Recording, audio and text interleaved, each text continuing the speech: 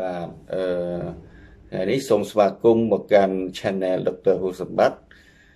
ថ្ងៃនេះខ្ញុំសូមចែករំលែកនៅចំណេះដឹងមួយពាក់ព័ន្ធនឹងជំងឺគ្រុនឈាមបាទដោយសារបច្ចុប្បន្ននេះគឺមានអ្នកជំងឺគ្រុនឈាមច្រើន គឺកើនឡើងច្រើន បាទហើយមានបងប្អូនខ្លះគាត់មិនបានយល់ដឹងពីជំងឺគ្រុនឈាមគាត់មកពេទ្យអត់ទាន់ពេលវេលាក៏ធ្វើឲ្យគាត់អឺ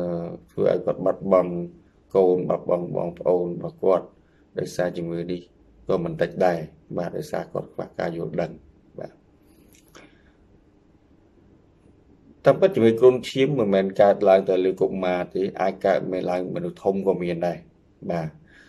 តែជំងឺគ្រុនឈាមគឺជាជំងឺមួយដែលបង្កដោយ virus បាទគឺពួក Dang virus ដែលអាចឆ្លងតាមការចម្លងគឺតាមរយៈមូសខាំបាទមូសខ្លាខាំបាទ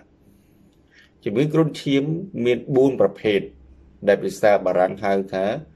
ដាំងអងដាំងឌឺដាំងកក់ដាំងកាប់បាទតើរោគសញ្ញាជំងឺគ្រុនឈាមនេះមានអ្វីខ្លះបាទភាគច្រើននៃអ្នកជំងឺពុំមានស្ដែងចេញជារោគសញ្ញាច្បាស់នោះទេបាទករណីខ្លះមានរោគសញ្ញាតិចតួចហើយករណីខ្លះគឺមានភាពធ្ងន់ធ្ងរតែម្ដងអាចមានឈានទៅដល់សុខភាពជាតិធ្លាក់ចុះតិចដែលជាជើង អាចឈានទៅដល់ការស្លាប់ក៏មានដែរបាទធ្ងន់ធ្ងរណាស់បាទហើយជាទូទៅយើងចែកចេញជា3ដំណាក់កាលបាទដំណាក់កាលទី1គឺដំណាក់កាលក្តៅខ្លួន ដំណាក់កាលទី2គឺដំណាក់កាលត្រជាក់ខ្លួន ដំណាក់កាលទី3គឺជាដំណាក់កាលនៃការជាសះស្បើយដំណាក់កាលក្តៅខ្លួនដំណាក់កាលក្តៅខ្លួនគឺមានលក្ខណៈគឺថាសីតុណ្ហភាពឡើងខ្ពស់ខ្លាំងរហូតដល់39 40អង្សាសេ ហើយមិនងាយចុះត្រជាក់ដោយថ្នាំប៉ារ៉ាសេតាមុលទេយើងប្រើថ្នាំបញ្ចុះកម្ដៅប៉ារ៉ាសេតាមុលនោះពេលខ្លះអាចត្រជាក់បានមួយរយៈពេលខ្លី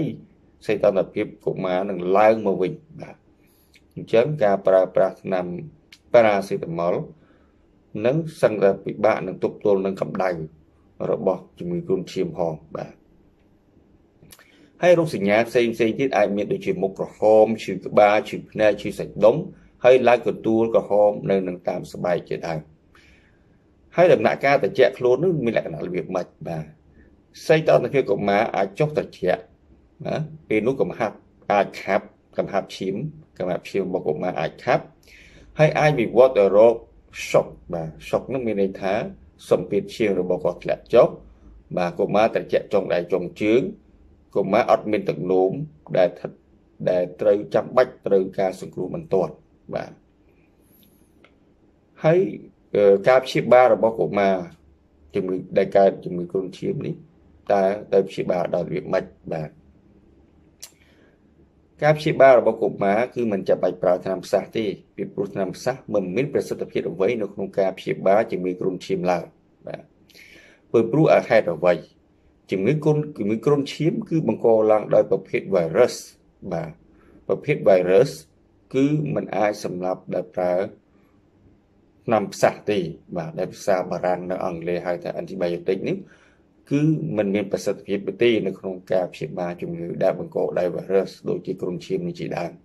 มันអាចទេហើយការព្យាបាលជំងឺនេះគឺយើងព្យាបាលដោយប្រើថ្នាំបញ្ចុះកម្ដៅនិងការប្រើទឹកបាទការប្រើទឹកបាទការព្យាបាល ថ្នាំបញ្ចុះកម្ដៅគឺយើងហាមដាច់ខាតមិនឲ្យប្រើថ្នាំអាស្ពីរីនទេពីព្រោះអាស្ពីរីនធ្វើឲ្យមានការហូរឈាមបាទនៅពេលដែលកុមារក្តៅខ្លួនគឺយើងអាចប្រើថ្នាំបញ្ចុះកម្ដៅហើយក៏អាចយកកន្សែងជ្រលក់ទឹកបាទជ្រលក់ទឹកក្តៅអ៊ុនអ៊ុនយកមកជូតខ្លួនកុមារបាទគឺយើងអាចយកកន្សែងជ្រលក់ទឹកដែលក្តៅអ៊ុនអ៊ុនបាទ យកមកជូតខ្លួនកុមារដើម្បីបញ្ចុះកម្ដៅបាទវិធីនេះគឺអាចជួយឲ្យកុមារបញ្ចុះកម្ដៅបានខ្លះបាទជំនួសឲ្យអឺមួយទៀតក្នុងករណីមួយនេះគឺត្រូវតែផ្ដល់អាហារនិងទឹកឲ្យបានគ្រប់គ្រាន់ដល់កុមារយើងដឹងហើយនៅពេលដែលកុមារក្តៅខ្លួន គឺវាគាត់បាត់បង់ជាតិទឹកណាស់បាទហើយអឺចាំបាច់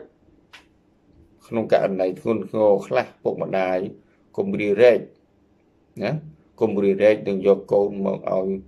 គ្រូពេទ្យពិនិត្យនិងព្យាបាលឲ្យបានត្រឹមត្រូវបាទកុមារពេលដែលកុមារមានជំងឺគ្រុនឈាមនេះគ្រូពេទ្យអាចដាក់សេរ៉ូមដើម្បីបំពេញការខ្វះខាតនៃការហូរឈាមនៃការហូរនៅផ្លាស្មាឬក៏បាត់បង់ជាតិទឹកដោយសារតែកុមារឡើងក្តៅកុមារខ្លះអាចមានក្អួតមានអីគាត់ធ្វើឲ្យបាត់បង់ជាតិទឹកដែរបាទហើយអឺ គ្រូពេទ្យអាចនឹងដាក់សេរ៉ូមដាក់អីដើម្បីជួយសង្គ្រោះក្នុងករណីដែលគាត់មានបញ្ហាអឺសម្ពាធឈាមធ្លាក់ចុះគឺសេរ៉ូមគឺចាំបាច់ណាស់ដើម្បីសង្គ្រោះបន្ទាន់បាទហើយបើសំករណីអឺសង្ស័យបងប្អូនគឺកុំទុកកុមារនៅផ្ទះខ្ញុំសូមផ្ដាំឲ្យផ្ដាំទៀតសូមកុំទុកកុមារនៅផ្ទះសូមយកកុមារទៅឲ្យគ្រូពេទ្យពិនិត្យឲ្យបានត្រឹមត្រូវព្យាបាលទៅតាមបច្ចេកទេស បាទដែលគ្រូពេទ្យមានគឺត្រូវតែពីព្រោះករណីជំងឺគ្រុនឈាមនេះគឺចាំបាច់ដែលគ្រូពេទ្យដែលចាំបាច់ត្រូវមានគ្រូពេទ្យដែលមានជំនាញច្បាស់លាស់ក្នុងក្នុងការព្យាបាលពីព្រោះវាពាក់ព័ន្ធទៅនឹងអាយុជីវិតធ្ងន់ធ្ងរណាស់បាទហើយតើត្រូវបង្ការរោគនេះដោយរបៀបណា ការបង្ការរោគនេះគឺទី1គឺត្រូវតែស្លៀកពាក់ឲ្យកូនរបស់លោកអ្នកឲ្យបានចិត្តចិត្តដើម្បីការពារមុខខាំ មួយទៀតសូមកុំឲ្យកុមារទៅលេងកន្លែងដែលកន្លែងណាដែលងងឹតពីព្រោះទីងងឹតនេះគឺសម្បូរទៅដោយមូសបាទហើយនៅក្នុងផ្ទះ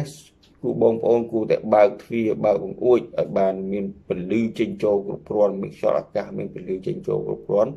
ទើបអាចគេចផុតពីជំរកមូសបាទមួយទៀតយើងអាចអឺកាប់ឆ្កាព្រៃបំផ្លាញជំរកមូសដូចជាមានការដូចជា នៅក្នុងនឹងឆ្កាព្រៃដែលវាដុះសុខទ្រុបនោះយើងអាចកាប់ចោលទៅដើម្បីកុំឲ្យមូសនៅបាទមួយទៀតអឺកន្លែងដែលមានទឹកដក់អំបែងដបអំបែងកែវអំបែងអីដែលដក់ដែលអាចដក់ទឹកបានគឺត្រូវបំផ្លាញចោលទាំងអស់បាទហើយមួយទៀតអឺត្រូវប្រើថ្នាំអាល់ប៊ែតដើម្បីសម្លាប់ដង្កូវទឹកនៅក្នុងពាងឬនៅក្នុងបាសសាំងនៅក្នុងកន្លែងណាដែលអាចមានទឹកដក់ បាទគឺត្រូវតែបំផ្លាញចោលហើយយើងត្រូវប្រើថ្នាំអាបេតដើម្បីសម្លាប់ដង្កូវទឹកនឹងតែម្ដងបាទកាលណាអស់មូសខ្លាអស់ដង្កូវទឹកអស់មូសខ្លា គឺអាចបង្ការកុំឲ្យកូនកើតគ្រុនឈាមបានបាទហើយខ្ញុំមិនមានអ្វីចែករំលែកទៀតទេដូចជាអស់ហើយបើសិនជាបងអឺមានចម្ងល់អាច comment សួរនៅក្នុងក្រុមវីដេអូនេះអាច comment សួរ ខ្ញុំនឹងព្យាយាមឆ្លើយជូនបងប្អូនអឺឲ្យបាន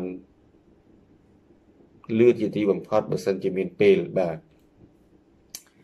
ហើយអឺបើសិនជាបងប្អូនគិតថាវីដេអូដែលខ្ញុំ